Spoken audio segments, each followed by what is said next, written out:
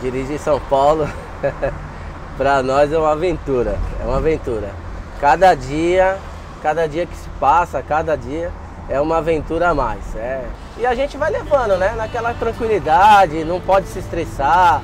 Você vai dirigindo é, pensando no que você faz no dia a dia, como que é bom para nós, né?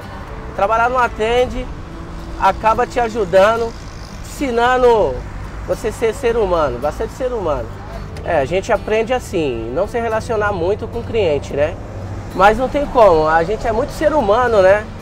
De vez em quando a gente vai buscar, a gente tem uma determinação, tem o regulamento do Atende, a gente não entrar na casa do usuário. Bom dia, dona Onofra, tudo bem com a senhora? Oi. Como que a senhora tá? Tudo bem? Estamos bem, graças a Deus. E você? Você tem que ter bastante atenção, principalmente você está tá transportando um cadeirante, né? Uma pessoa especial, entendeu? Tem que ter uma cautela, não pode estar tá freando bruxo. Tem vezes que o carro na sua frente freia com tudo, você tem que estar aquela distância de segmento para você não frear bruscamente, para não estar tá machucando né, o deficiente, né? Porque depende da deficiência que a gente tem pessoas que a gente transporta que ele tem ossos de vidro.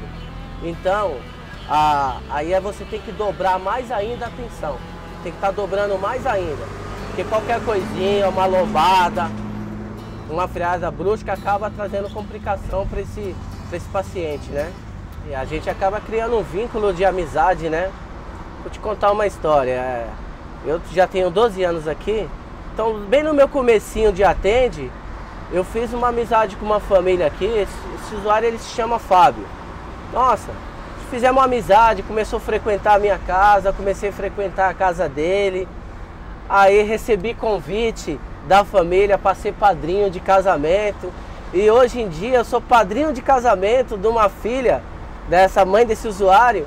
Sou padrinho de casamento, sou padrinho de igreja. Acabou pegando aquela amizade. E hoje eu frequento, hoje em dia eu frequento a casa deles, eles, eles frequentam a minha casa. Então é uma amizade assim que se vi, acabou se virando como se fosse uma família. Nossa, muito bom, muito bom mesmo. Esses meninos são as nossas mãos e as nossas pernas, sabia?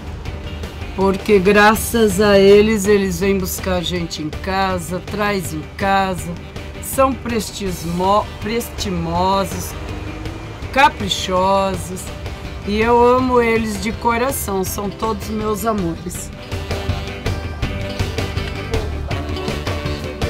Tchau, vó. Tudo de bom, tá?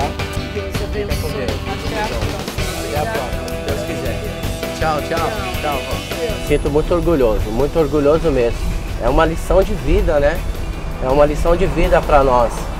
Então a gente aprende muita coisa, a gente aprende assim valorizar a vida cada dia mais, né?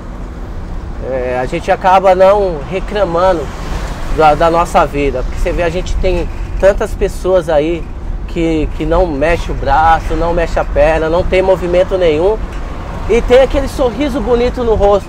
Por que, que a gente vai reclamar da vida? Então, assim, eu me sinto muito feliz aqui no, aqui no Atende, entendeu? Me sinto muito feliz mesmo.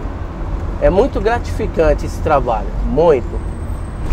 E pretendo ficar aí até uma hora que eles não quiser mais, mas é muito gratificante. É uma lição de vida para nós. Cada dia que passa, a gente vai aprendendo muito com eles, sabia? Quero estar tá mandando um abraço para todos os motoristas, quero parabenizar pelo seu dia. E parabéns aí. Estamos nós aí no dia a dia.